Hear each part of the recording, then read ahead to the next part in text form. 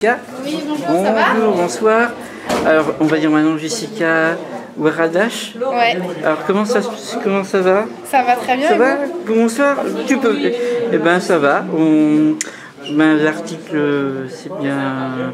Ben, moi, ce qui m'intéresserait en fait ce soir, que de poser comme question, c'est euh, comment tu t'étais entraîné finalement en attendant de rejoindre tes, tes coéquipières. euh, Bah, je m'étais entraînée avant. Après, Ouais. elles, elles sont parties mercredi en stage.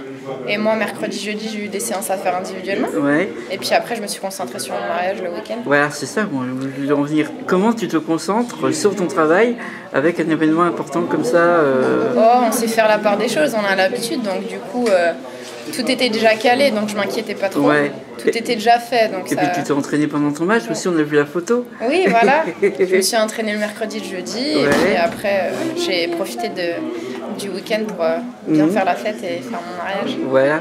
Tu as rejoint donc du coup après tes coéquipières. Oui. Tu as retrouvé très vite tes marques aussitôt. Oui, euh, pas de souci. on- Quand on loupe que 3 ou 4 jours, c'est pas non plus. Ouais. euh, C'est comme si on avait une petite blessure, on était éloigné des terrains 2-3 Mhm. jours et après on revenait. Donc euh, c'était plus bizarre de revenir après un week-end de fête et de mariage, Ouais. de revenir tout de suite dans le, dans le banc, mais ça s'est fait rapidement.